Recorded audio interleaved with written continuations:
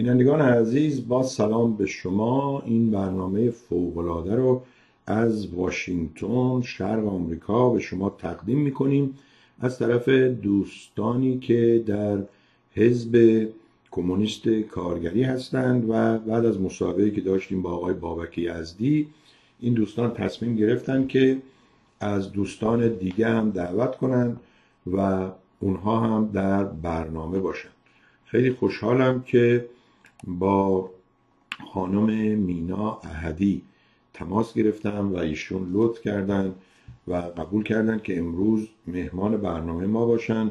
حتما ایشون رو شما در تلویزیون ها دیدید برنامه هاشون رو از رادیوهای مختلف شنیدید نوشته هاشون رو خوندید و اگر در حین برنامه پرسشی دارید یا نظری دارید فکر کنم سریعترین و بهترینش این باشه که از طریق فیسبوک بنویسید چون این برنامه هم روی فیسبوک مردم تیوی هم روی فیسبوک سوربی صفحه شخصی خود من در حال حاضر به صورت زنده پخش میشه و بعدم که موجود هست تا برنامه های بعدی که قرار است با دوستان دیگه مصاحبه داشته باشیم و احتمالا باز هم با خانم مینا احدی.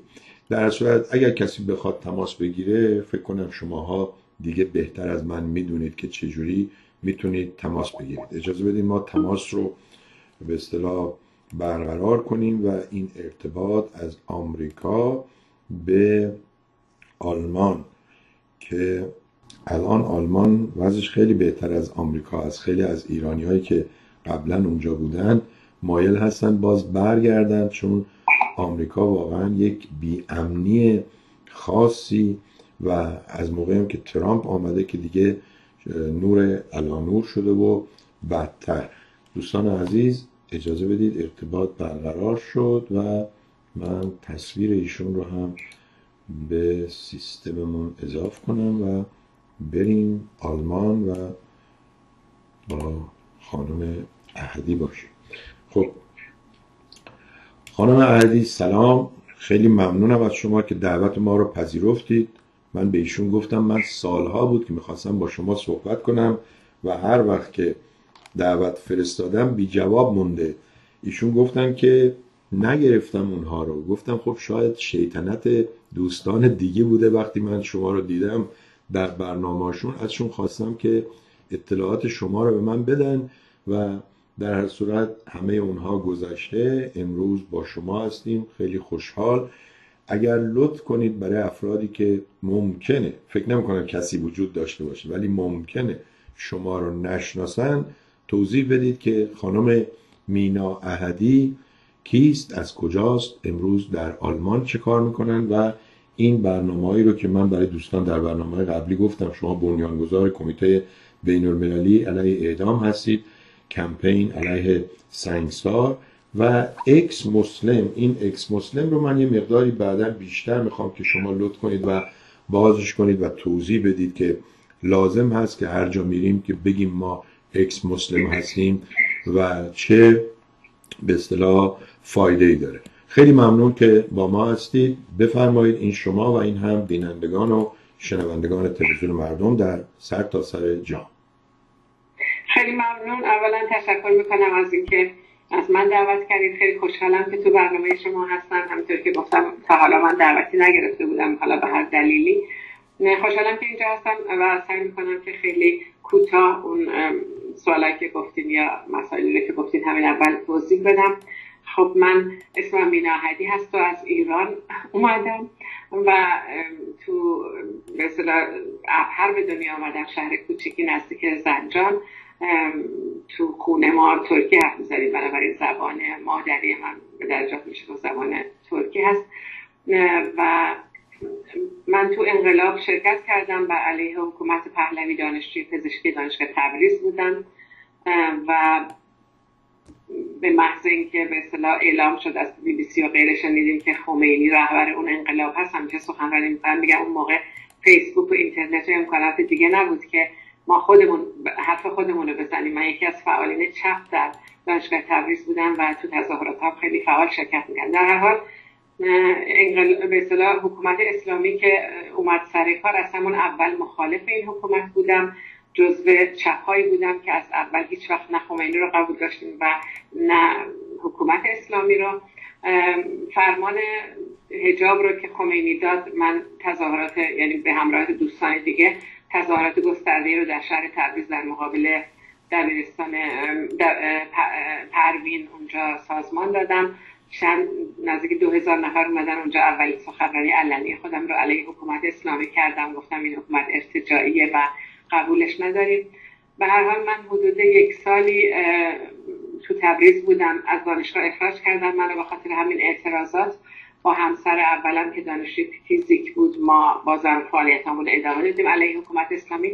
ولی به حال متاسفانه ایشون به همراه دوستان دیگه که مهمون ما بودن دستگیر شدن. من موقع تو کارخونه کار می‌کردم. کارخونه پپسیکولا در تبریز خونه نبودم. این دوستان دستگیر شدن و بعد از یک ماه اعدام شدن از جمله امجد مصطفی سلطانی ماجد مصطفی سلطانی و تعداد دیگه از دوستان سرشناس از کردستان خونه ما مهمون بودن به همراه همسرم اسماعیلی یگانی دوست که جزو اولین اعدام هایی بود که جمهوری اسلامی انجام داد و اسمشون هم اعلام می‌کردن از طریق روزنامه ها من برای یک سالی حدودا تو تهران مخفی زندگی کردم ولی چون امکان ادامه زندگی نبود علیه خودم هم حکم اعدام داده بودن و دنبالم میگشتن من رفتم کردستان. ده سالی من در کردستان پارتیزان پیشمرگی بودم با حزب کمونیست ایران و کومله که خیلی معروف هست اسمش برای همه. اونجا بودم بعد حزب کمونیست کارگری تشکیل شد عضو این حزب شدم. و 1990 به من از کردستان اومدم. وین.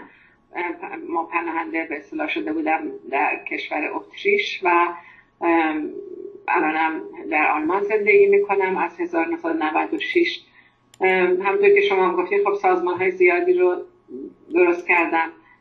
کمیته علیه اعدام به همراه دوستان طبعا کمیته بین المللی علیه سنگسار و یک سازمان در سال 2007 در آلمان درست کردیم به اسم سازمان Ex-Muslim یا شورای مرکزی Ex-Muslim که در مورد همه اینا بعدا اگه خواستید توضیح میدم. بسیار ممنونم. خیلی متاسفم که همسرتون رو اعدام کردن. از طرفی خوشحالم که شما از دست این جانی ها تونستید فرار کنید و جان سالم به در ببرید. پس حالا فهمیدم من چرا فکر می‌کردم شما کرد هستید به خاطر اون فعالیتاتون در کردستان. در هر صورت به قول اون خواننده ای که خون اهل هر کجا که باشی ما همه ایرانی هستیم. من شیرازی هم شما از ابهر هستید و هیچ فرقی نمی‌کنه. شما توی صحبتاتون گفتید که اون موقع فیسبوک و این چیزا نبود. منظورتون این بود که ناشناخته به اصطلاح گرفتار خمینی شدین؟ نه منظورم اینه که نمی‌تونستیم بگیم که از همون اول برای چی داریم میریم تو خیابون و نمی‌تونستیم این هم همه عظیمی که توی اون جامعه هست حداقل یه بخشش کسایی بودیم که می‌گفتیم نه به دیکتاتوری پهلوی ما آزادی برابری حقوق انسانی می‌خوایم. توی همون شهر تبریز خیلی زیاد مثلا ما فعال بودیم تو تظاهرات ها توی میتینگ ها سخنرانی می‌کردیم زنایی که بیهجاب و خیلی آزاد دخترای جوون. من خودم یادم تو تبریز یه بار یه تظاهراتی بود. مردم رفتن دم در خونه آخوند مثلا ملایی که اونجا بود. اونو به زور آوردن بیرون می‌گفتن بیا تو تظاهرات شرکت کن. منظورم اینه که این صحنه ها این مبارزات این اعتراضات نمی‌تونست منعکس بشه و بقیه ببینن که چون به نظر من یه مهر زدن روی اون انقلاب گفتن انقلاب اسلامی. اون انقلاب اسلامی نبود اسلامیش کردن. و اینا چیزهایی هست که بعدا حالا تو تاریخ هم الان خب خیلی چیزا فاکته و معلوم شده و مطرح شده. ولی چیزی که من دارم میگم اینه که اون موقع این امکان نبود که خودمون حرف خودمون رو بذاریم خواسته هامون رو مطرح کنیم و مثلا بی بی سی به خاطر اینکه امکانات ارتباطات اجتماعی کم بود. حرف بزنه خمینی رو به عنوان رهبر انقلاب معرفی کنه. رسانه هایی که تک بودن و افکار رو به اصطلاح می ساختن و ما خیلی تاثیر داشتن در اینکه بگن خمینی رهبر این انقلابه و این انقلاب مهر اسلامی بهش بزنن منظورم این بود بیشتر. بسیار ممنون. پس از همون اوایل دوستانی مانند شما احساس خطر کرده بودن من یادم اون تظاهراتی رو که وقتی اینها گفتن هجاب اجباری خانم هایی که رفتن و خیلی متاسفم که من همیشه گفتم مثلا امروز اگر اینا راه ندارن به به اصطلاح استادیوم های ورزشی من این رو حقیقتش از بیغیرتی مردها می‌دونم. اگه مردها نرن این خانم ها این دخترها دختر کی هستن؟ دختر منن خواهر اون یکی هن. اگه اونها نرن آخوندی که دنبال پول هست می‌بینه صد هزار نفر امروز نیومدن خب فردا مج... به اصطلاح آزاد می‌کنه. ولی اونایی که میگن خمینی رو بی بی سی به اصطلاح رهبر نکرد و اینها از سال 1342 از بعد از اون 1341 انقلاب سفید شاه و ملت اون دشمنی اون تبعید و بعدم رفتن دوره دیدن. و اینا از اون موقع بودن. خود من تو نیرو ویژه هواگرد بودم. شبنامه های اینا رو می‌دیدم. موقعی که حکومت نظامی بود میومد یک حالت خیلی منسجم مرتب و تنها سازمانی بودن که پایگاه هم داشتن. دیگران بیشتر در زندان توسط پادشاه که از ترس کمونیست یا چپ فرصت به اینها داده بودن اینها پایگاه داشتن و جالبتر اینه که حقوق هم از سواک و از شاه و سیستم پادشاهی می‌گرفتن. شما درباره اونا چی میگید که این حکومت از اول اولش به اصطلاح خمینی و رفسنجانی و بهشتی و طالقانی و شریعتی و اینها بنیان گزارش بودن نه مردم خب طبعا بالاخره ما در مورد یه جامعه حرف می‌زنیم که گرایشات مختلف تمایلات مختلف خواسته های مختلفی توش وجود داشت. توی ایران همون موقع مثلا نسل من و شما که الان دیگه یادمونه چپام بودن. مثلا سازمان های بزرگی مثلا مثل چریک های فدایی خلق یا انواع اقسام سازمان های مثلا می‌گفتن خط بهشون مبارزین آزادی طبقه کارگر بعدا پیکار و غیره و یعنی گرایش چپ گرایانه خودش یه به گرایش بزرگ بود تو ایران. سازمان مجاهدین خب خیلی نیرو داشت و خیلی هم نیرو گرفت بعد از انقلاب. بعد اسلامی های دیگه مثلا همین جریانات طرفدار خمینی و اینا هم بودن. یه نکته خب مهم به شما اشاره کردین اونم اینه که حکومت پهلوی خیلی ضد کمونیست بود و جلوی فعالیت خیلی از ها و کمونیست ها رو می‌گرفت. ولی خب مثلا همون موقع مثلا حسین ارشاد و در خدمت شریعتی گذاشته بودم من خودم اون موقع جوان بودم. می‌رفتم نگاه می‌کردم. هر هفته سخنرانی می‌کرد خیلی زیادی. یعنی مثلا جنبش اسلامی اسلام سیاسی عقاید خودش رو خیلی وسیع پخش می‌کرد. ولی اینطوری نبود که مردم وقتی اومدن انقلاب کردن حکومت پهلوی افتاد اینطوری نبود که صد درصد خمینی و اسلامی های این نوعی بتونن قدرت رو بگیرن. به نظر من فاکتورهای مختلفی دست به دست هم دادن که اینا قدرت رو گرفتن وگرنه خمینی و ارتجایی که ازش دفاع می‌کرد حداقل در بین نسل جوان اون موقع اصلا نیروی زیادی نبود. نکته اصلی به نظر من هم همکاری یا تصمیماتی که دولت آمریکا و دولت غربی گرفتن تو کنفرانس گوادلو فرزن چون اونا هم از زاویه ضد کمونیست بودن و از زاویه که ممکنه حکومتی بیاد توی ایران سر کار که به شوروی وصل بشه و تو دوره جنگ سرد از این میترسیدن کمک کردن که خمینی الان دیگه اینا همش فاکته که امکانات ارتباطات یزدی رفت نمی‌دونم نماینده دولت آمریکا رو دید. اینا دیگه همش الان تو تاریخ ثبت شده که کمک اصلی از آمریکا اومد از غرب اومد دولت فرانسه و غیره.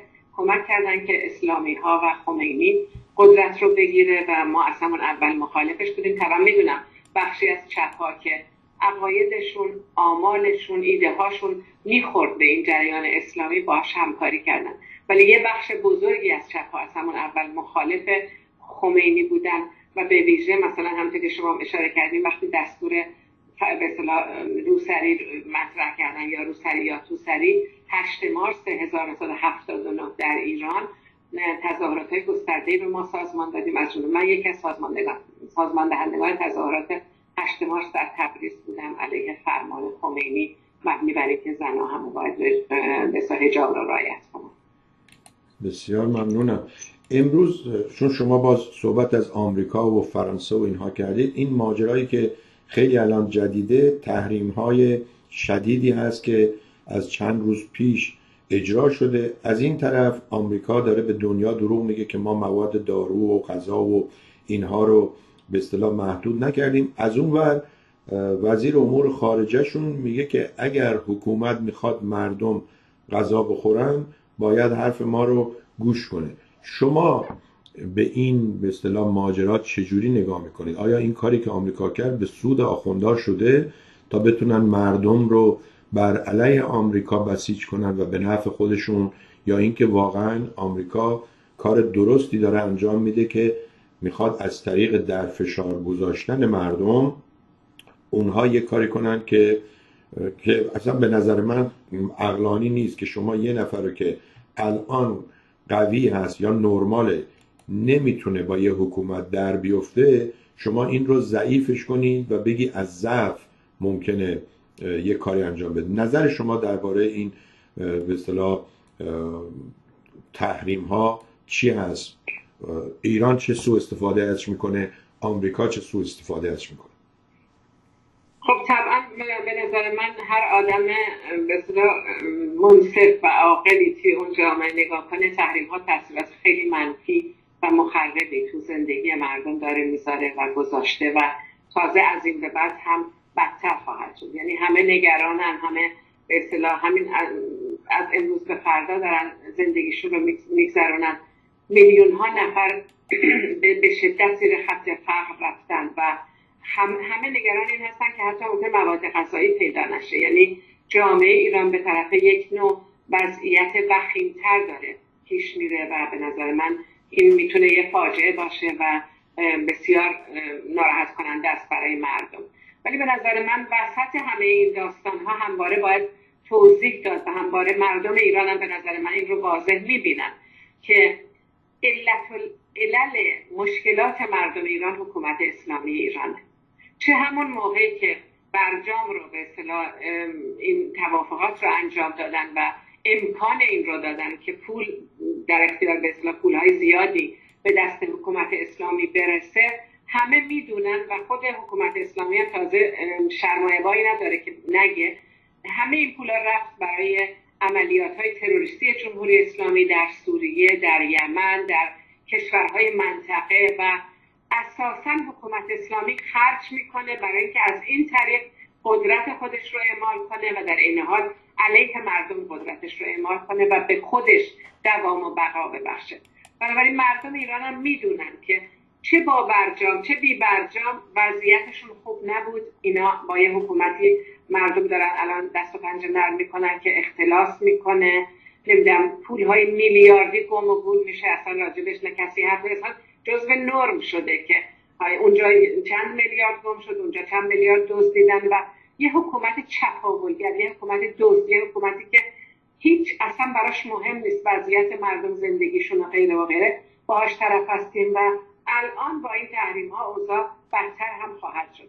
منتها منم می‌دونم تو سیاست ایران تاثیرات اینطوری خواهد گذاشت. که حکومت اسلامی سعی می‌کنه مظلوم نمایی کنه. همه مشکلات رو بگه به خاطر ترامپ یا به خاطر سیاست های به اصطلاح تحریمه که دولت آمریکا داره پیش می‌بره. از اون برم طرفدارای حکومت اسلامی یه عده دوباره کفش و کلاه بکنن که از این طریق مثلا بخوان از موجودیت حکومت اسلامی دفاع کنن یا اینکه به اصطلاح فضا سازی کنن که مردم یه جورایی از حکومت یا در, کنار حکومت قرار بگیرن. به نظر من این هم درست نیست. همه چیز نشون میده جامعه ایران وارد یه دوره شده که یه بنبست کامل وجود داره توی اون جامعه و حکومت اسلامی باید سرنگون بشه به نظر من پاسخ تمام این مشکلات و مسائل این هست که هر چه زودتر تکلیف حکومت روشن بشه هر چه زودتر این حکومت سرنگون بشه.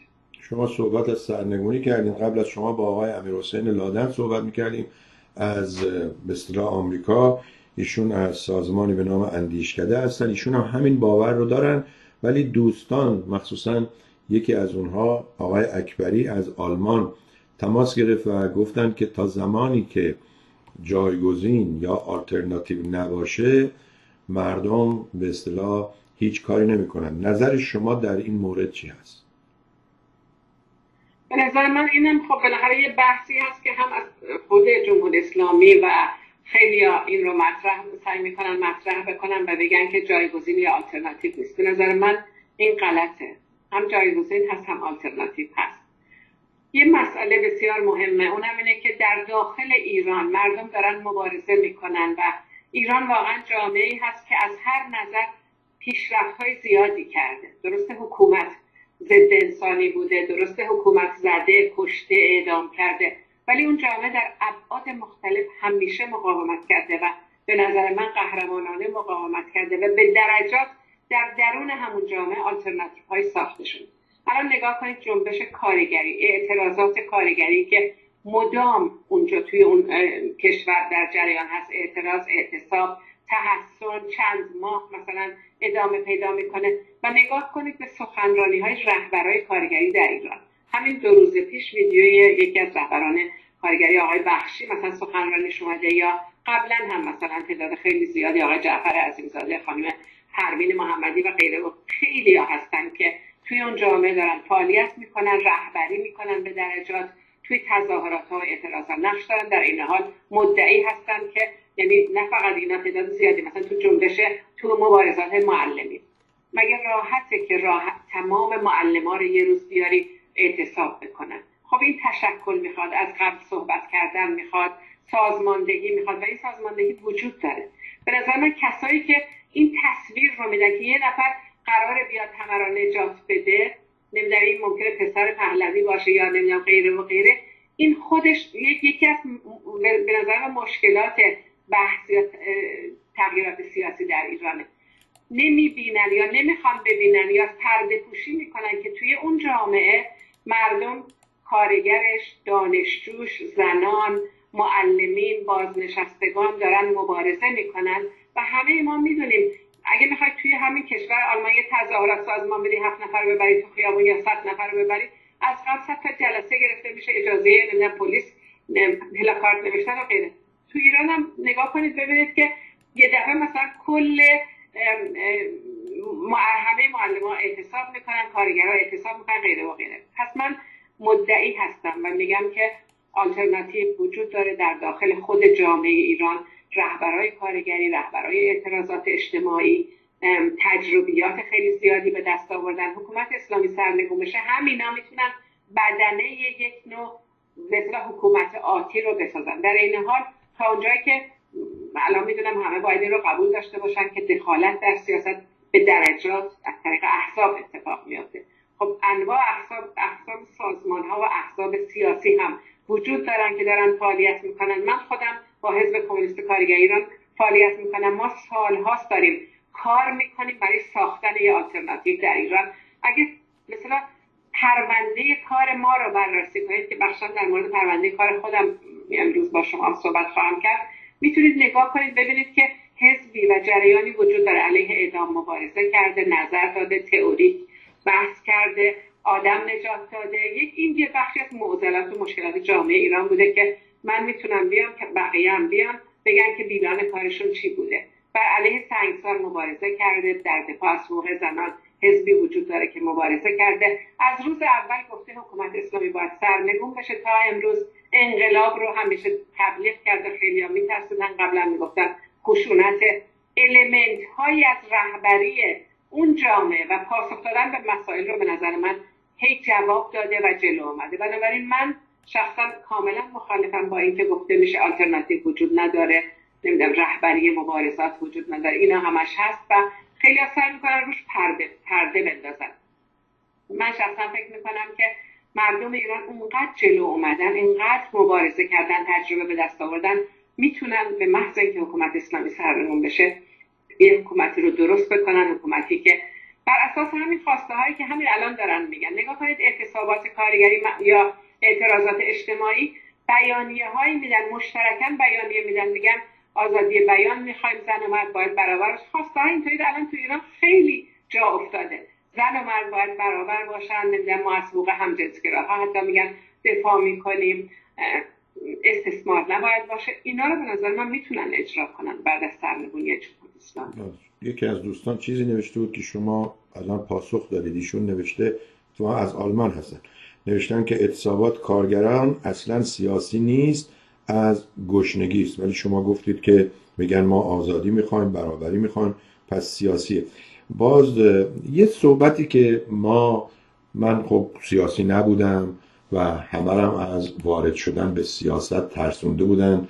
به همین خاطر اطلاعات ما هم محدود هست. اطلاعات من مثلا محدود هست به رژیم های دیکتاتوری شاه و رژیم دیکتاتوری شیخ. هرچی اونا به ما گفتن و شما خیلی قشنگ گفتید اون موقع این سوشال مدیا نبود. ما محدود بودیم به همون اندازه. به ما گفته بودن که چپ کمونیست کمونیست بی خدا. این درسته؟ یا اشکال داره این گفته؟ این خیلی ساده کردن و به درجات به مذاق کشیدن ماجرا هست. به نظر مسئله, مسئله اصلی این هست که تو جوامعی که شما اشاره کردید جوامع دیکتاتوری جوامعی که حقوق آدمان زیر پا گذاشته میشه همیشه اعتراض بوده تو تاریخ. مردم همیشه اعتراض کردن چون ظلم بوده بیحقوقی بوده فقر گرسنگی نبود آزادی و هی سعی کردن از حقوق خودشون دفاع کنن و به درجات هم جلو اومدن. یعنی تاریخ رو نگاه کنید همواره با مبارزات همراه بوده. یک بخش یک جنبش اجتماعی بخشی از این مبارزات معطوف به همین هست که کارگرا یعنی تو به اصطلاح تو جامعه سرمایداری الان کارگرا یا جنبش کارگری در حقیقت اعتراض می‌کنه و میگه که نظام کاپیتالیستی یعنی نظامی که مبتنی بر این هست که آدما هر روز تو همین آمریکا و آلمان و غیرشن باید برن نیروی کار خودشون رو بفروشن تو سیاست نمی‌تونن زیاد دخالت داشته باشن تا آخر عمرشون. باید فقط برای یه دونه زندگی بخور نمیر مثلا تمام انرژی خودشون رو بفروشن این باید از بین بره و میشه شرایطی رو ایجاد کرد میشه زندگی رو ایجاد کرد که همه با, با بودن این همه نعمات کار کنن زندگی مرفه داشته باشن و غیره. یعنی در حقیقت می‌تونم بگم کمونیسم یه جنبش اعتراضی و اجتماعی هست که توی جامعه در جریان هست و بوده. ولی در این حال خب همه می‌دونن که نظریات عقاید رهبران فکری وجود داشتن که این رو تئوریزه کردن. از جمله ما من تو آلمان زندگی می‌کنم. همین چند وقت پیش 200 سالگی به اصطلاح کارل مارکس بود و مثلا به عنوان یه متفکر که این جامعه رو بررسی کرده هم به عنوان یه آدمی که از نظر تئوریک بررسی کرده جواب داده و هم یه به عنوان یه انقلابی که گفته باید اوضاع و احوال عوض بشه.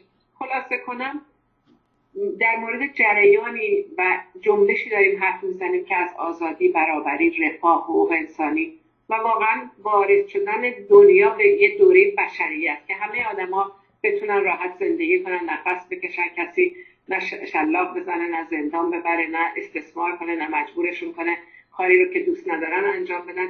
برای همچین دنیایی داریم مبارزه می‌کنیم و به نظر من ساده کردن بحث هست که بگی کمونیسم یعنی خدا نیست. پس این این ضمن اینکه توش به هست که ماتریالیستی فکر می‌کنن کمونیستا و به به اصطلاح ماورا و طبیعه و خدا و غیره هم اعتقادی ندارن ولی ممانعت نمی‌کنن نه؟ از اگر کسی باور داشته باشه؟ اصلا.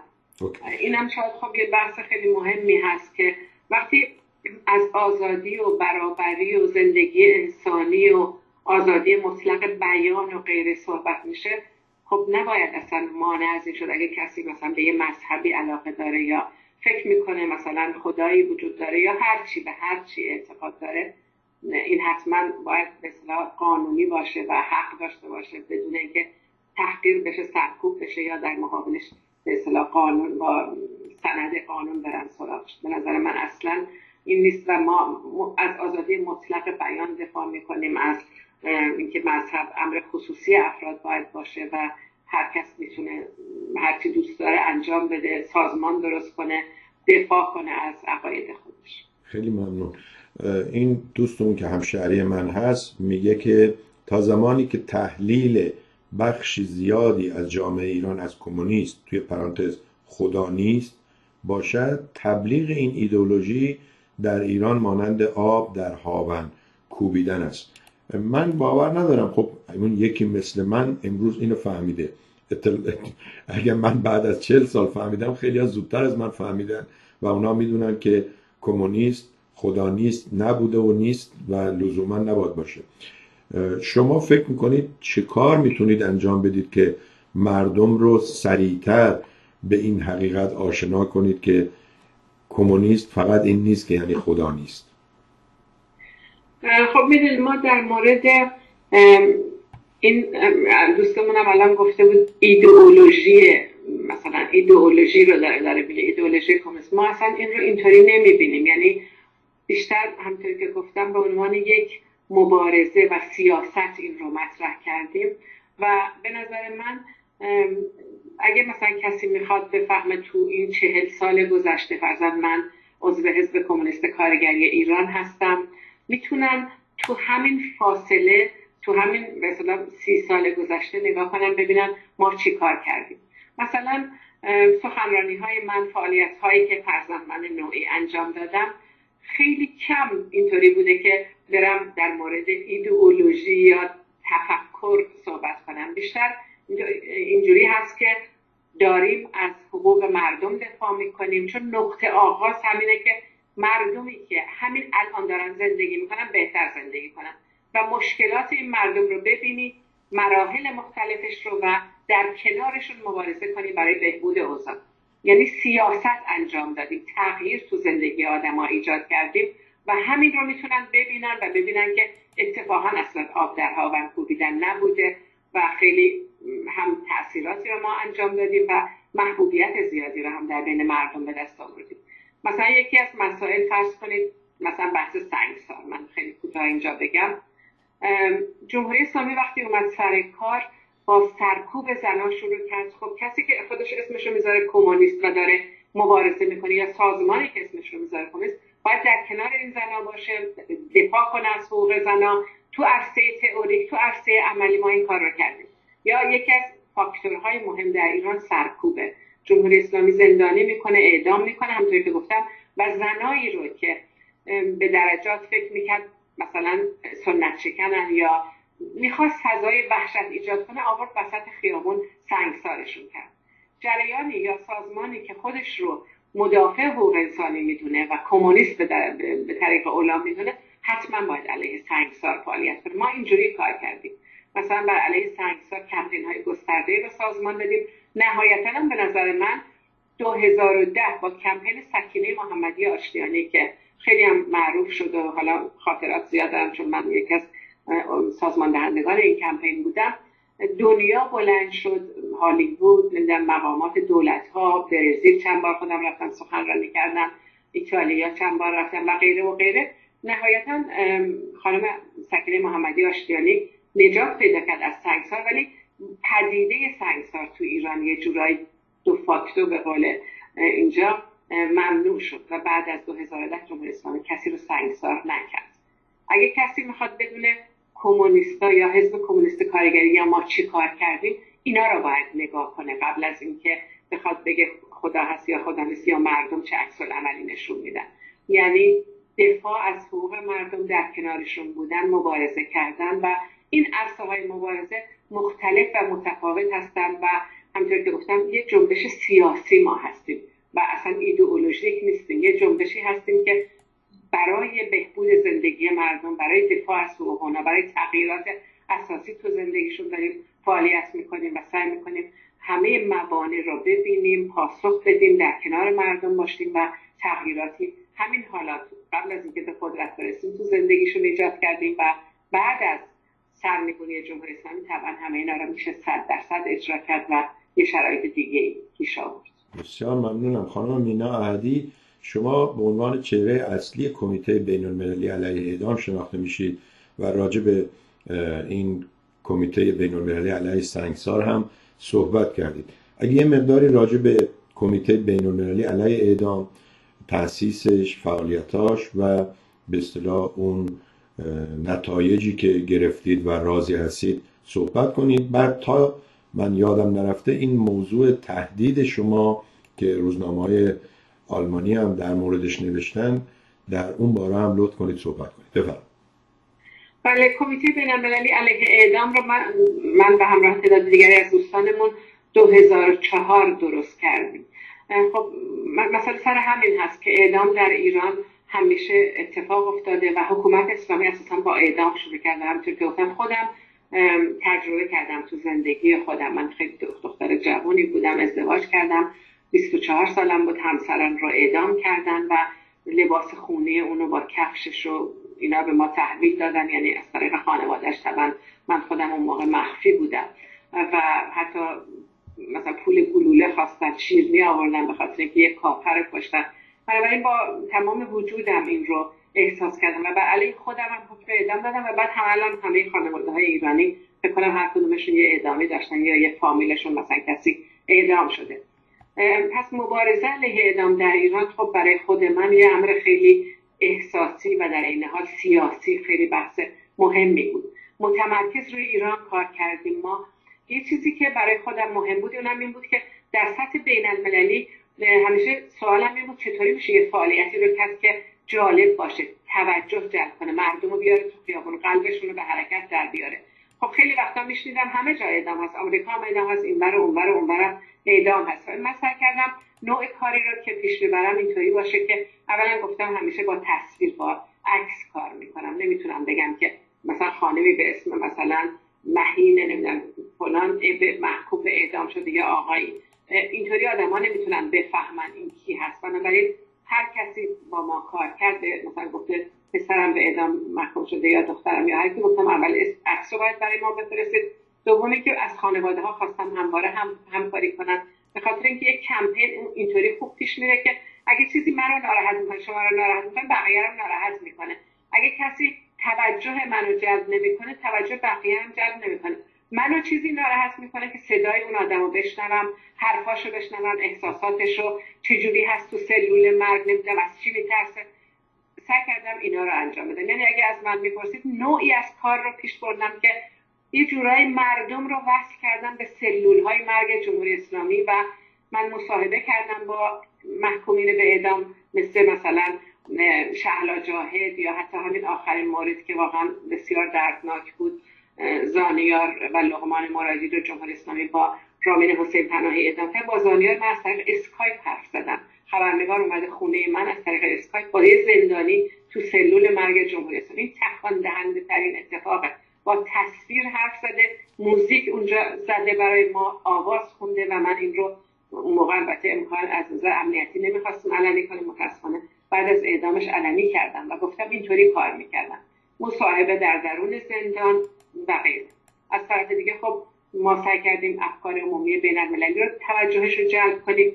نتایجی که از این کار گرفتیم این بود که اولا تعداد زیادی رو از اعدام نجات دادیم. ثانیا به جنبش علیه اعدام در ایران خیلی وصل شدیم. ما همواره از روز اول گفتیم اعدام قتل عمد دولتی الان همه جا دارن این رو میگن. این حرفی هست که منصور حکمت زندگیات منصور حکمت گفت و ما این رو واقعا توده ای کردیم در داخل ایران. در این حال به نظر من تونستیم برای هم تعدادی را نجات بدیم هم مشکل ایجاد کنیم برای جمهوری اسلامی برای اعدام های بیشتر. کمپین های ما بعضی وقتا مثلا کمپین نجات ریحانه جباری متاسفانه ریحانه نجات پیدا نکرد ولی خیلی بحث خیلی توجه خیلی تظاهرات و در نهایت وقتی اعدام شد در صدر اخبار در تمام رسانه ها حتی آلمان شبکه یکش مثلا اولین خبر این رو گفت. و به نظر ولی ما تونستیم مثلا نازنین فاتحی رو نجات بدیم تعداد خیلی زیادی رو. به نظر من این یک نوع از کار بود که خیلی موفق بود و تاثیرات خیلی زیادی داشت در ایران و فکر می‌کنم حالا بعدا هم میشه مفصل راجع به تک تک این کمپین ها صحبت کرد. من خودم مثلا با شهلا جاهد فرزن صحبت کردم زندگی صداشو وقتی می‌خواستن اعدامش کنن زنگ زد خونه من با من حرف زد. خداحافظی کرد. وقتی این رو علنی کردیم الان توی شما اگه توی یوتیوب برید نگاه کنید هفت میلیون نفر اینو گوش کردن. یعنی اینا همش به نظر من نوعی از کار هست که خیلی جلب توجه کرد. خیلی ممنونم. منم مثل شما باور دارم که یک عکس گویاتر از هزار کلمه است و امیدوارم این کاری که انجام می‌دید به جایی برسه که اصلا اعدام قطع بشه در ایران. لطف کنید شما درباره این ماجرای تهدید من اصلا تعجب کردم که کسی یا سازمانی شما رو تهدید کنه و یه مقدار توضیح بدید چجوری بوده از کجا و به چه وسیله تهدید شدید بله خب الان آخرین موردی که پیش اومده میگم ولی من قبلا هم خب خیلی تهدید شدم. خیلی وقتا من زیر نظر پلیس آلمان رفت آمد می‌کنم زندگی می‌کنم. سخنرانی های زیادی که دارم همیشه محافظ دارم و اینا. ولی این آخرین مورد این هست که از یک کانالی که مطمئن هست برامون خبر اومده که توی یکی از یک نشستی در بین مسئولین امنیتی جمهوری اسلامی بوده. به اون کانال به ما میگه حتی خامنه ای هم تو اون جلسه بوده در مورد اینکه تصمیم بگیرن تو خارج از کشور ترورها رو از سر بگیرن. این جلسه بوده و همه الان می‌دونن که طبعا با اجازه خود خامنه ای جمهوری اسلامی سعی کرد تو خارج از کشور مثلا برای برنامه که در پاریس بود مجاهدین داشتن اونجا بمبگذاری کنن که خب خوشبختانه این معلوم شد و دستگیر شدن تعدادی. و یا اینکه در هلند یک نفر رو ترور کرد جمهوری اسلامی در دانمارک می‌خواستن ترور بکنن. تو همین چارچوب خبر به ما رسیده که توی همون نشست وقتی در مورد آلمان صحبت شده در مورد من به عنوان اولین آدم و تو لیست سیاهشون به در صدر قرار گرفتن و گفتن که تکلیف اینو هم باید هر زودتر روشن کرد. ما این رو خب شنیدیم و با پلیس آلمان در میان گذاشتم من خودم و در این حال روزنامه های آلمانی این رو امروز مثلا روزنامه بیلد این رو نوشته بسیار مفصل هم راجع به این نوشته که جمهوری اسلامی تو خارج از کشور داره تهدیدات تروریستی می‌کنه. تو خود آلمان تعدادی رو قبلا هم دستگیر کردن. جاسوسان جمهوری اسلامی که جاسوسی می‌کردن بر علیه یهودی ها یا بعضا مؤسساتی که مربوط به اسرائیل بود و یا اینکه یکی از نمایندگان پارلمان آلمان رو زیر نظر داشتن و نمی‌دونم همه شرایطش رو اونطوری که اینا گفتن آماده کرده بودن در صورت لزوم فوری بتونن ترور کنن. و تعدادی دستگیر شدن در آلمان. در هر حال ولی تا اونجایی که به موقعیت من برمیگرده ما همون سال 2007 هم که سازمان اکس مسلم رو بنیان گذاشتیم تهدیدات خیلی زیادی شدم. یا قبل از اون تو کنفرانس برلین که تو برلین بود اینم یکی از تاریخی فعالیت های ما هست. ما تو کنفرانس برلین بودیم کنفرانس به هم خورد. خیلی منو تهدید کردن. من خب خیلی وقتا میگم هر جا سخنرانی علنی دارم محافظ دارم. پلیس آلمان همراهی می‌کنه منو و یه مدت شیش ماهی هم صد درصد مثلا زیر نظر پلیس بودم در در خونم همیشه ماشین پلیس میستاد الانم دارن بررسی می‌کنن شاید دوباره زیر نظر کامل پلیس باشم ولی به هر حال مشکل امنیتی همیشه داشتم تهدید از طرف جمهوری اسلامی همیشه شدم ولی این دفعه به نظر پلیس آلمان هم موضوع خیلی جدی تر دولت آلمان هم کاری می‌کنه از لحاظ از لحاظ روابط بین دو تا کشور یا اونها بیشتر به فکر منافع و سودشون هست.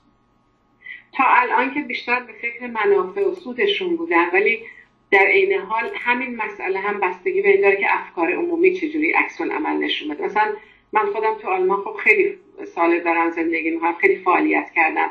تو دانشگاه های خیلی از شهرهای آلمان سخنرانی کردم. خب منو می‌شناسم و به خاطر همین وقتی یه روزنامه راجع به این می‌نویسه محکوم می‌کنه با نمایندگان پارلمان حرف زده راجع من.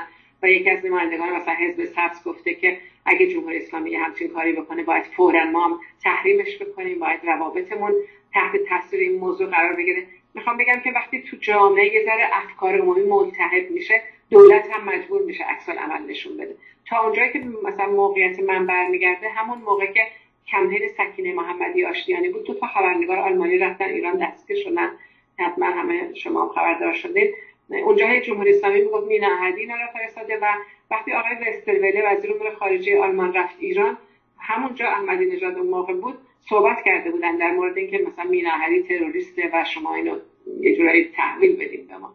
خب طبعا دولت آلمان عکس خیلی تندی نشون داد به این و می‌دونم که در آلمان به خاطر اینکه تعداد خیلی زیادی از از من دفاع می‌کنن یه مثلا دولت آلمان اصلا نه فقط به این نظر نمیاد که همچین پاسخی بده ولی در عین حال فشار الان روی دولت آلمان این هست که سفارتخانه های جمهوری اسلامی رو ببندید و به نظر من جمهوری اسلامی می‌دونه که اگه بخواد دست به من بزنه یا هر فعال اپوزیسیون در آلمان این دفعه دیگه دولت آلمان عکس العمل خیلی جدی نشون خواهد داد و همین الانم خودشون میگن که روی این موضوع به خاطر اینکه افکار عمومی ملتحد هست و مردم می‌خوان که دولت عکس عمل نشون بده حتما عکس عمل تند نشون میده.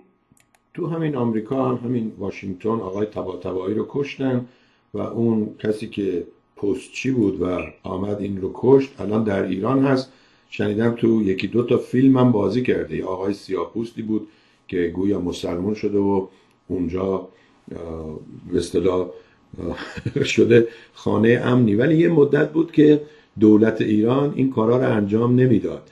فکر کنید چه دلیلی داره که باز مشغول شده یعنی شروع کردن این تهدید و ترور مخالفین رو؟ خب یه دوره همونطور که شما اشاره کردیم آقای فرخزاد رو تو اینجا یا میکانوس اتفاق افتاد. یه دوره دولت ها اصلا قاتلا رو یه مدت کوتاهی نگه می‌داشتن یا سعی می‌کردن همون شب فراریشون بده همکاری می‌کردن دولت ها با جمهوری اسلامی. بعد خب اعتراضات زیادی شد. اپوزیسیون جمهوری اسلامی در این مورد هم خب خیلی فشار آورد به دولت ها دولت های اروپایی بالاخره یه کارت قرمز به جمهوری اسلامی نشون دادن و یه دوره آرامش بود. یعنی جمهوری اسلامی دیگه جرأت نمی‌کرد تو خارج کشور کسی رو ترور کنه. دقیقا به خاطر اینکه از عواقبش میترسید. الان به خاطر اینکه در داخل ایران اعتراضات خیلی گسترده هست و جمهوری اسلامی میترسه. واقعا وحشت داره از مردم از اپوزیسیون می‌خواد یعنی به نظر می‌رسه تو روزهایی که احساس می‌کنه روزهای آخرش هست تمام زهرش رو بریزه می‌خواد از تمام امکانات استفاده کنه برای موندنش. اینا همیشه گفتن فقط با ترور و با جنایت و با آدمکشی سر کار موندن و همیشه میگن های زیادی داشتیم ولی پشت سر گذاشتیم. هاشون همیشه با جنایت با فضای شک و وحشت ایجاد کردن پشت سر گذاشتن. الان به نظر من تو این اوضاع تصمیم گرفتن و واقعا این جلسه برگزار شده و به اصطلاح رهبرشون دستور داده که به ترورهای خارج کشور هم شروع کنن دست بزنن. براشون زیاده مهم نیست حالا عکس عمل فلان کشور یا فلان دولت چی می‌خواد باشه.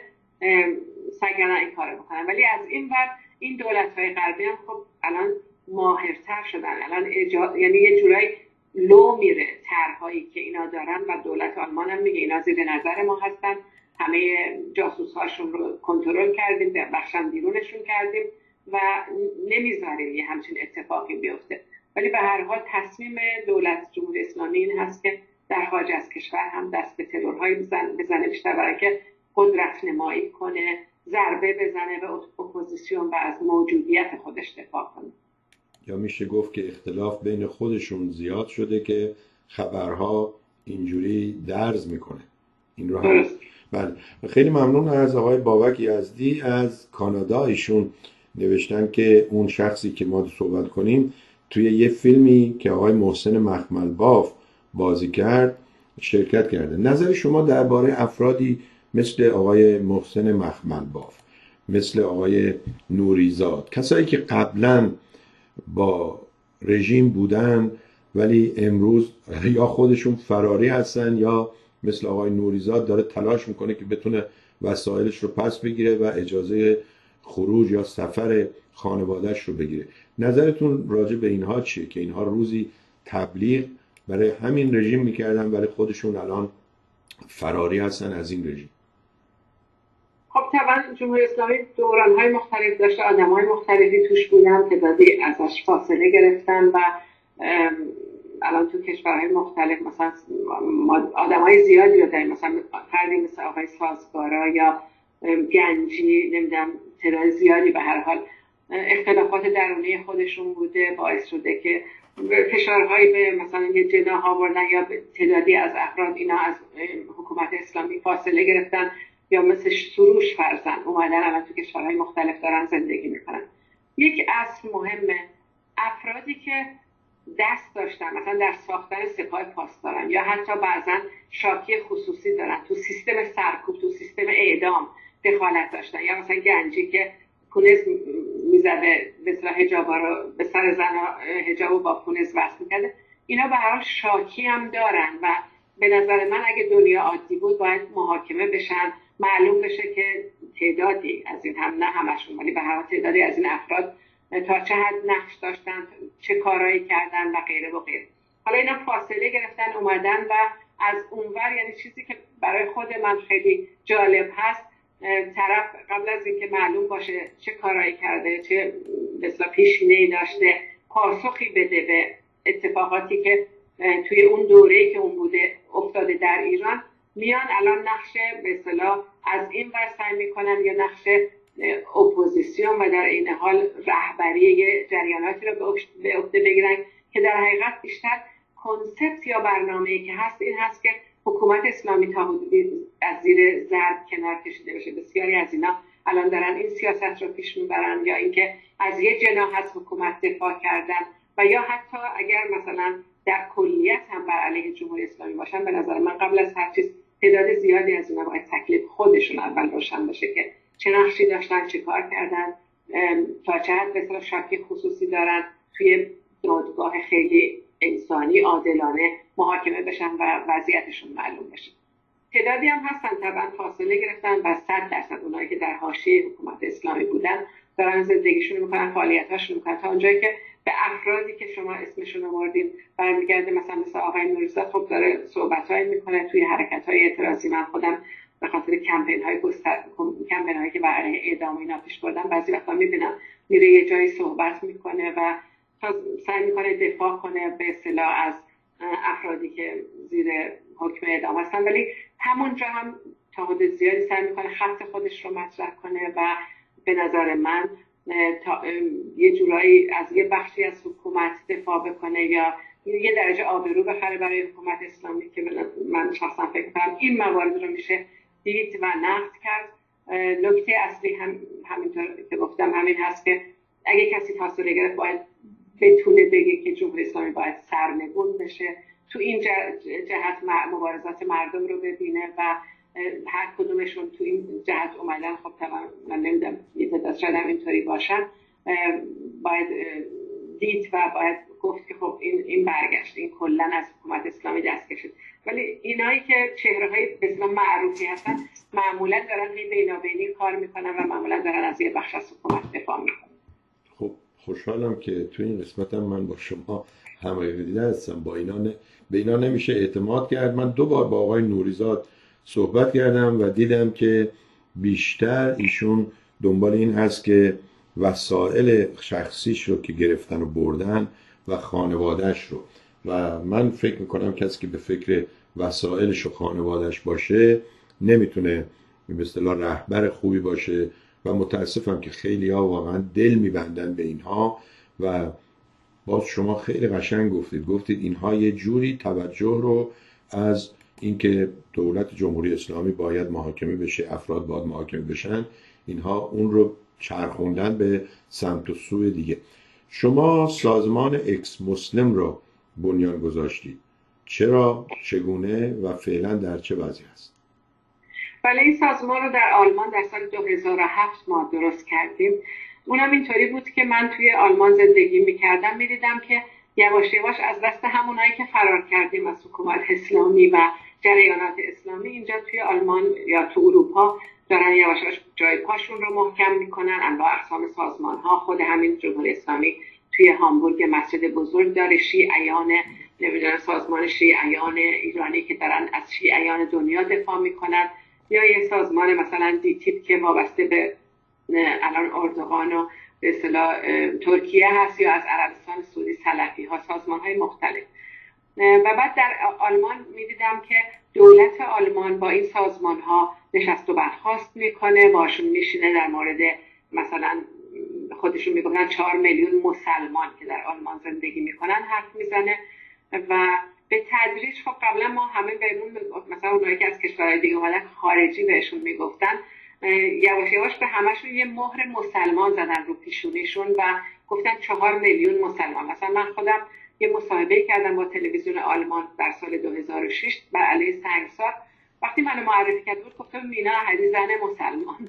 که من اعتراض کردم می‌خوام بگم این این این تندنس این اتفاق تو همه کشورها افتاد. یه دفعه همه مهر مسلمان خوردن و سازمان های اسلامی ظاهرا نماینده این مسلمانان بودن و دولت ها با این سازمان ها نشستن پول دادن امکانات دادن مسجد درست کردن. گفتن این مردم رو انتگره کنید توی جامعه. آلمان مشخصا اینطوری بود. یعنی دولت آلمان کنفرانسی درست کرد در سال 2006 به اسم کنفرانس اسلام که نمایندگان انواع اقسام سازمان های اسلامی رو دعوت کردن. آقای شویبله و موقع وزیر داخله باشون نشست و پول و امکانات داد. می‌گفت که برید مسجد درست کنید و این مسلمان ها رو ادغام کنید.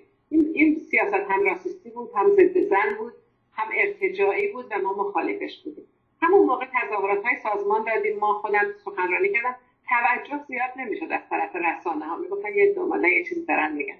ولی بعد من با تعدادی از دوستان آتئیست سرشناس آلمانی اینجا یه سازمانی هست مثل جردان برونو و آقای میشایل شمیت سالمان خیلی معروف هستن. باشون یه بار یکی دو بار سخنرانی بود کردیم. هر دوتامون سخنران بودیم. صحبت کردم. گفتم من خیلی معترضم به این و با هم یه طرحی رو به اصطلاح پختیم پخته کردیم که اعلام کنیم یه سازمان درست کنیم به اسم شورای مرکزی اکس مسلم که در حقیقت سازمانی هست که داره نقد می‌کنه این همکاری این مماشات با جریانات اسلامی رو این بخشیدن همه مردم رو به مسجد و منبر و اینا تو کشورهای اروپایی و این کمک کردن به ارتجاع رو در کشورهای مختلف اروپایی. این سازمان رو ما درست کردیم. اولش مثلا با عکس و تفسیر نشون خودمون رو اعلام کردیم اکس مسلم هستیم. در این حال می‌خواستیم این رو هم نشون بدیم. شما حتما این رو می‌بینید تو کشورهای اروپایی که فکر می‌کنن اگه کسی مسلمان هست تا ابد مسلمان میمونه و اصلا کسی توی مسلمان ها نیست. آتئیست باشه انتقاد داشته باشه. گفتیم که مذهب نباید ارسی باشه. نباید فکر کنی یک بار مسلمان هم میشه. مسلمان خیلی ها دست می‌کشن از اسلام. خیلی ها اصلا قبول ندارن سازمان های اسلامی رو. اگرچه مسلمان هستن جریانات تروریست رو قبول ندارن و در این حال این سازمان مثلا تو آلمان ما برای ممنوعیت برقه در مراکز عمومی فعالیت می‌کنیم ممنوعیت هجاب در محیط کار ممنوعیت هجاب کودکان. ما میگیم بچه مذهب نداره. نباید کلاس مذهبی بفرستن مسلمان ها رو میفرستن یک کلاسی آخوند میارن براشون درس, درس میده. کاتولیک های کلاس گفتیم. همه بچه ها در مورد درس مذهب بخونن راجع به مذاهب همه با هم. یعنی یه خواسته های مدرن و پیشرفته رو ما داریم اینجا. ازش دفاع می‌کنیم و خیلی کارمون سر و صدا کرد تو آلمان خیلی توجه جلب کرد.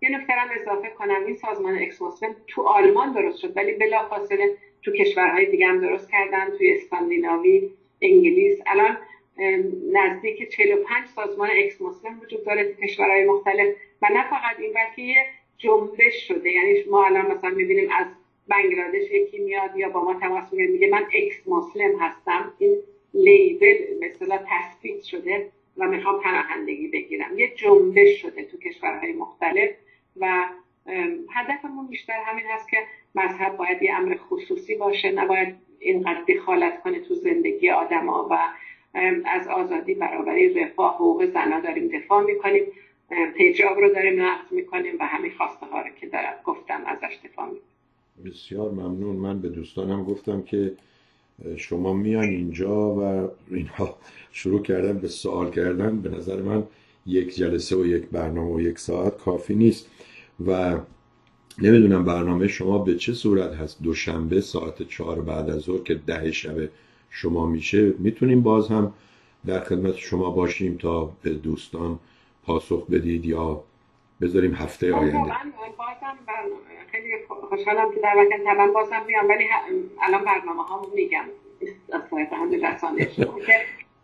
من فردای جای شهر به اسم ماربورگ سخنرانی داریم ولی بعد توی برلین ما از روز یک شنبه تا یک شنبه هفته بعدش یعنی از یازدهم تا هیچدهم نوامبر هفته حقوق بشر اعلام کردیم از طرف سازمان های سکولار آتئیست که مثلا سخنرانایی دعوت کردیم مثل آقای ریچارد داوکینز که احتمالا شما میشناسیدشون بله، بله.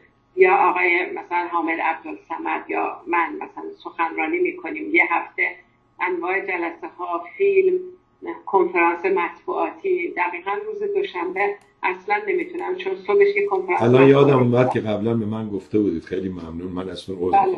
بله گفته بودید که در جلسه حتما حتما.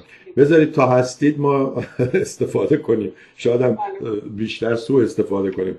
دوستمون میگه که مسجد هامبورگ متعلق به رژیم گذشته است. این همون جایی نبود که آیت الله بهشتی هم مثل که مسئولش بود. بله این یکی. معلومه مسجد هامبورگ مربوط به حکومت به حکومت گذشته است ولی الان حکومت جمهوری اسلامی این رو گرفته و اونجا یه مرکزی درست کرده برای گسترش شیعه به قول خودشون.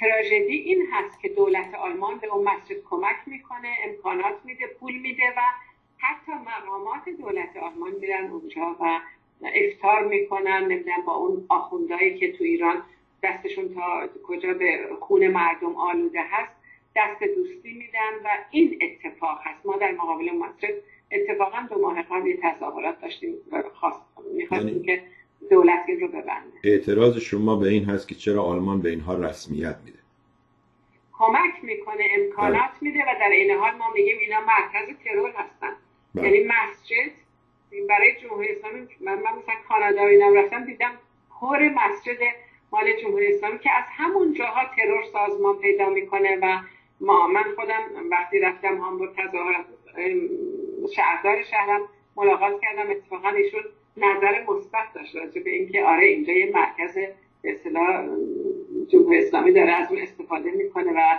یه جورایی تمایل به اینکه این این باید بسته بشه.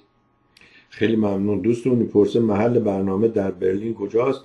اگه دوستان لطف کنن آقای یزدی و دیگران روی همین فیسبوک بنویسن اگر عمومی هست اگر با دعوت و اینها هست. بله. اون آقای داکینز هم من ویدیوهاش نگاه کردم.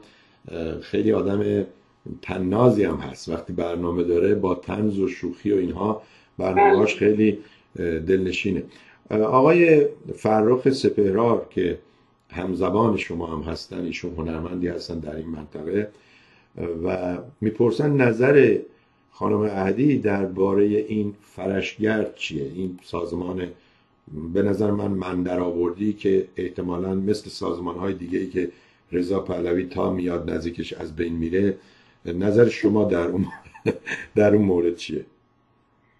من قبلا هم خود راجبش صحبت کردم. یه دفعه به قول آلمانی آلمانی یه دوره هم جمع شدن که اکثرا هم بعدا معلوم شد که از اصلاح طلبا بودن و کسایی که از حجاریان و غیره و غیره خط می‌گیرن یا تو پرونده سیاسی خودشون هم همین چیزا هست. یعنی دفاع از بخشی از جمهوری اسلامی اومدن دور هم جمع شدن و به نظر من با وقاحت و در کمال پررویی از همان اطلاعی اولشون دارن میگن با ارتجاع سرخ و سیاه داریم مبارزه می‌کنیم و خودشون وقتی صحبت هم می‌کنن. میگن سر این جمله خیلی با هم با دقت صحبت کردیم و تصمیم گرفتیم که این رو بگیم و بعدم اینکه خودشون رو به اصطلاح هم همینطور که شما هم گفتید بالاخره وصل می‌کنن وصلم شدن عملا به رضا پهلوی و با اون به اصطلاح هشت کردن انگار جامعه ایران یا یه جامعه که جامعه مجنونین هست که یه دفعه یه عده آدمای اینطوری به همراه یکی دیگه برن و خودشون رو به عنوان رهبر اعتراضات مردم در ایران جا بزنن و یا بخوان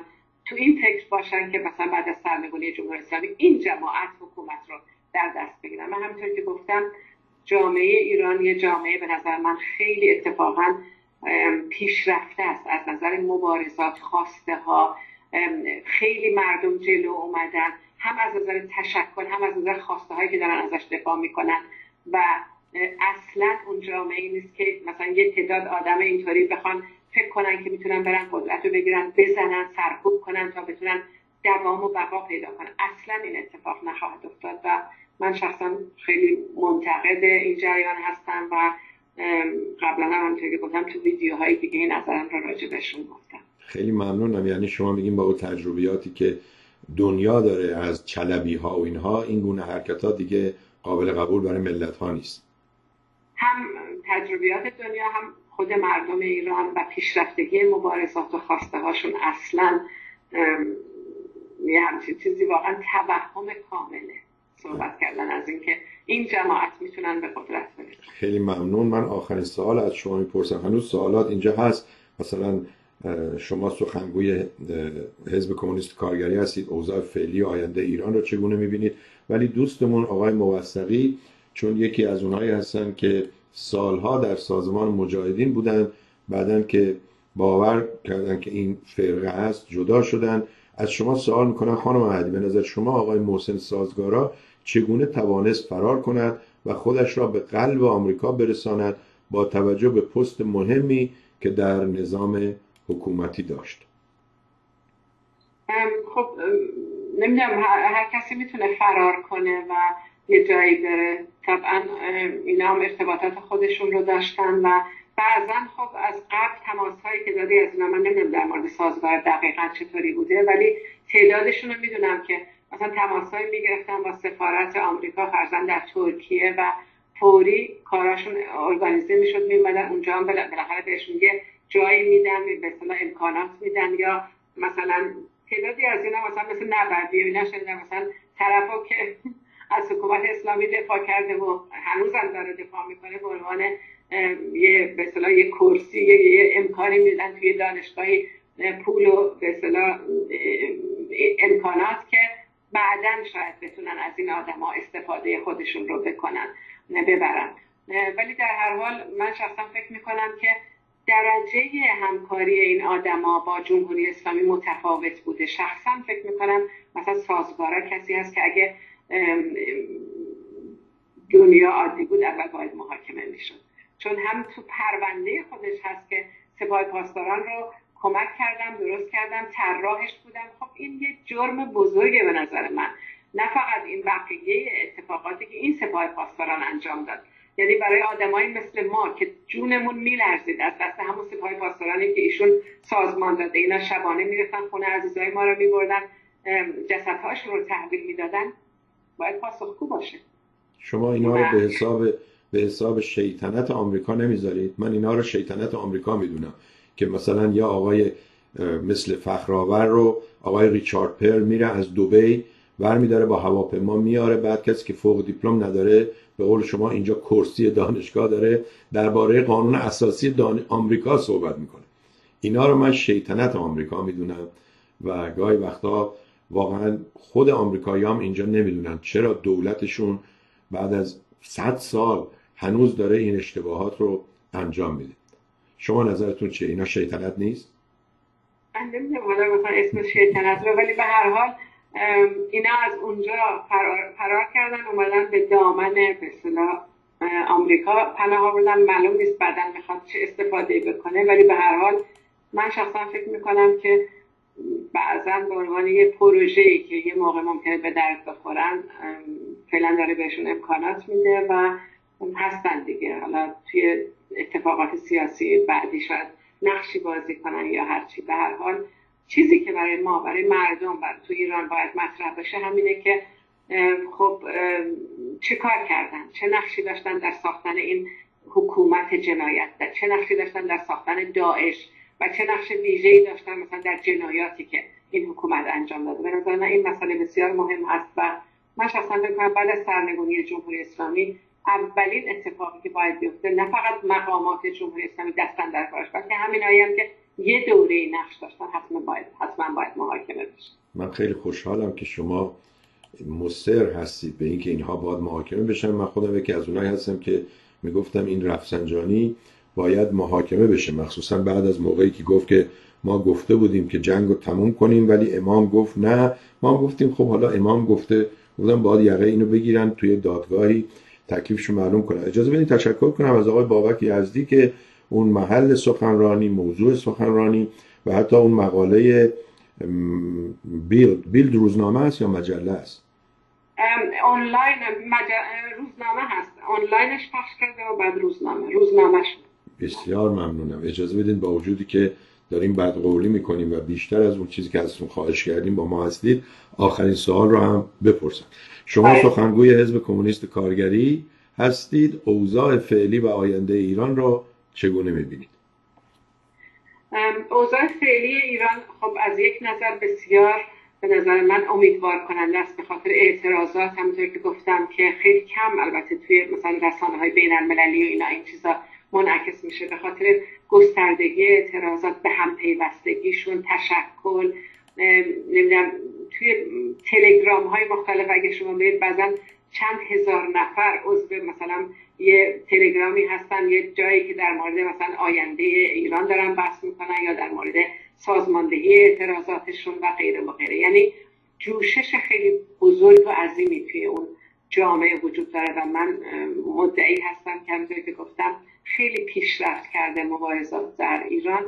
و می‌تونه این مبارزات به هم بست بشه. ما داریم از اعتصاب عمومی اعتصابات عمومی در ایران حرف می‌زنیم و شخصا فکر می‌کنم که روند این اتفاقات داره به طرف این میره و فراخان ما به مردم در ایران این هست که می‌تونید شما اگه اعتراضات اعتصاباتتون به هم بست بشه واقعا می‌تونید جمهوری اسلامی رو سرنگون کنید و این دیگه اثر من شمس مردم خود ایران هم می‌دونن خودمون باید حکومت اسلامی رو سرنگون کنیم و دخالت دیگران حکومت های مثلا مثل آمریکا و غیره و غیره یا اتحادیه اروپا یا هرچی سالهای سال قرنها اثبات شده که اونا به فکر منافع خودشون هستن. و همین الان مثلا بحث ترامپ که یه دل به اون خوش کردن می‌بینن که می‌بینیم که با این مثلا سیاست تحریم چقدر زندگی مردم هی بد و بدتر شد تا که به حزب کمونیست کارگر ایران برمیگرده ما معتقدیم که مردم ایران می‌تونن حکومت اسلامی رو سرنگون کنن و حزب رهبر وجود داره. ما خودمون رو تا اینجایی که کار کردیم در مقابل مردم پرونده بسیار روشنی داریم. فعالیت های گسترده اجتماعی در تغییر و تحول در همین زندگی مردم و در این حال دفاع از خواسته هاشون از روز اول گفتیم حکومت اسلامی دون شأن بشره از روز اول گفتیم این حکومت باید سرنگون بشه. از روز اول گفتیم با انقلاب باید سرنگون بشه و گفتیم این جامعه شرایط این رو داره که بعد از سرنگونی جمهوری اسلامی حکومتی بیاد سر کار که بر اساس مثلا تشکل در در بین خود مردم یا شوراهای مردم که مردم بتونن نقش داشته باشن انتخاب کنن. اگه قبول ندارن فوری بیارن پایین. این الان به یمن وجود اینترنت و امکانات به این از این نوع خیلی راحت می‌تونه اتفاق بیفته. میشه یه آینده بهتری رو در ایران ساخت حزب کمونیست کارگر ایران می‌خواد توی ساختن این آینده نقش داشته باشه. ممنونم که ما با, ما بودید. می‌دونم که اونجا ساعت 11 شب قبل از اینکه همسایه ها شکایت کنن ازتون خداحافظی می‌کنم. برای شما آخر هفته خوبی آرزو می‌کنم سفر خوبی و اگر دوستان اونجا ویدیوهایی رو تهیه می‌کنن و روی یوتیوب می‌ذارن اگر لینکش رو برای ما ارسال کنید ما هم اینجا نشون میدیم تا باز برنامه آینده با شما باشیم. خیلی ممنون که با ما بودید. خیلی ممنون از فرصتی که در اختیار من گذاشتیم و من تشکر می‌کنم. از شما امیدوارم تو برنامه های بعدی هم شرکت کنم. خیلی ممنون. به امید دیدار خب دوستان عزیز با خانم مینا احدی بودیم. همونجوری که بهتون گفتم این برنامه ها با کمک دوستان دیگه که اونها لطف می‌کنن به عنوان تهیه کننده تماس می‌گیرن. من اینجا فقط مجری هستم و خیلی خوشحالم که یاد می‌گیرم. یعنی فرصتی رو که دو تا حکومت دیکتاتوری از ما گرفته بود الان به شکرانه این سوشال میدیا اسکایپ یوتیوب و دوستان. دوستانی که باور دارن که هر جا که سکوی ارتباطی باشه باید بیان صحبت کنن. حتی اگر بتونن با یک نفر جدید صحبت کنن حتی اگه بتونن یک نفر رو قانع کنن که درباره تفکرات اونها روش زندگی روش زندگی فردا طرف فکر کنه و این فکر کردن هاست که فکر می‌کنم فردایی بهتر در انتظارمون خواهد بود. برای شما بهترین ها رو آرزو می‌کنم. برنامه تلویزیون مردم ادامه پیدا می‌کنه. روز دوشنبه با شما خواهیم بود. ساعت دوازده ظهر به وقت نیویورک شرق آمریکا و با برنامه کانون آوا مجاهدینی که سالها عمرشون رو اونجا گذروندن. بعد دیدن که این سازمان به اصطلاح کج رفت و تبدیل به فرقه شد و جدا شده. بله خیلی ممنون. شما باز هم نظری دارید. ما رو بیچاره خودتون هم به کشورهای غیر کمونیستی آقای فرهام پولاد. دوست عزیز شما بیا صحبت کن و من مطمئنم که شما هم شنونده هایی خواهید داشت و این چیزی که شما رفتید کشورهای غیر کمونیستی اولا کشور کمونیستی الان کجاست؟ شما من بگو شوروی یا چین کمونیستیه. اونها از اینجا کپیتالیست این یک. دوم این صحبتی که شما می‌کنید اشتباهی هست که طرفداران پادشاهی یا به قولی شاه می‌کنن. که تا بهشون صحبت کردی میگه اگه اینجوری باشه باید اونها بگی شما چرا اومدی آمریکا؟ چرا تو آلمان هستی؟ بلند چین برین کشورهای که پادشاهی دارن. بهترینش هم پادشاهی عربستان. برید اونجا کیف کنید. دوستان عزیز ممنون. متشکرم که با ما بودید. آخر هفته است. مواظب مشروب خوردن رانندگی خود و دیگران باشید. ضمنا امشب در شهر ما برنامه هست به نام شب دور همی. من هم اونجا خواهم بود. اگر آمدید با هم کل کل می کنیم روز و روزگار بر شما خوش به امید فردایی بهتر و آینده ای روشنتر.